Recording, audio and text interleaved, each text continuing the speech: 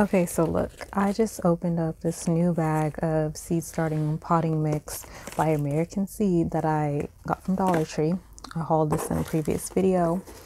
And look,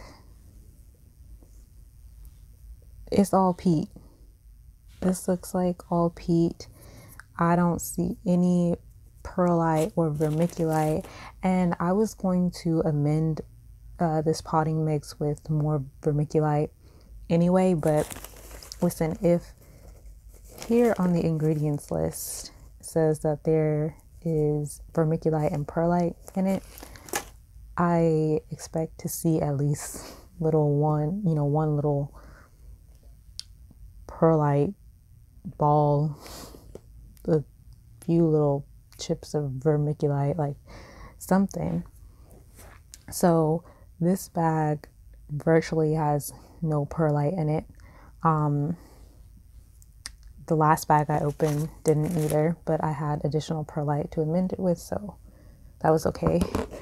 Um, I also wanted to show y'all so y'all are aware.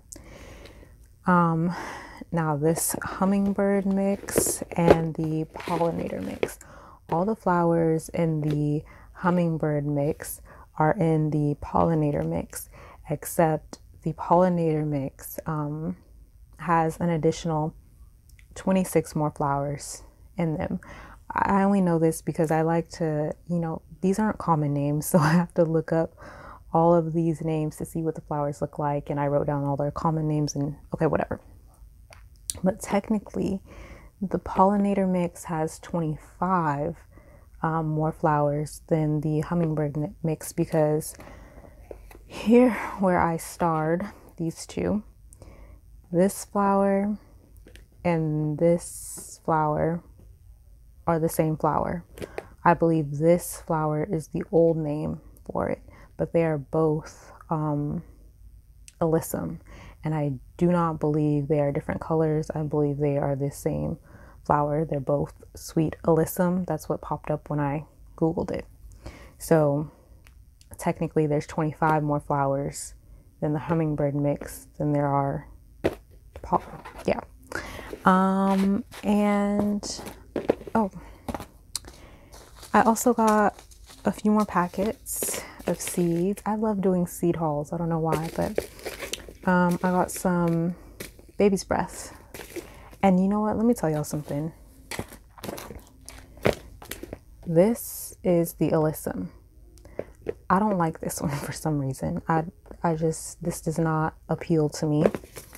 But I love the baby's breath.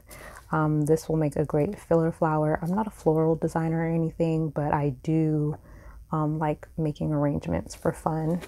It's just that's why I'm growing a, a flower garden for arrangements, for beauty, and for natural dyes. I got some petunias. I think these are so pretty. I don't know why I passed them up last time. And I got some dill. I think these are beautiful flowers and arrangements. I think they're just beautiful flowers in general. I'm using them for foliage, not, you know, for anything else. Um, yeah, but I think it's beautiful. And I'm also on the lookout for asparagus because the asparagus foliage is also really just beautiful. But this is all that I wanted to share with y'all today. Thank you for watching. Like, comment, and subscribe. Bye. Okay, and quick note about um, this seed starting mix. The first couple of bags that I've ever gotten, that I've ever used uh, from American Seed, there was perlite and vermiculite in it. And I just amended it with more perlite. But these last two bags that I've used, um, and I've, let's see, the first, I've, I've bought several bags. And the first few bags that I've used had perlite and vermiculite. The last two that I've used, virtually none. It's just peat. So I don't know if, you know, this was just a bad batch or I don't know what it is.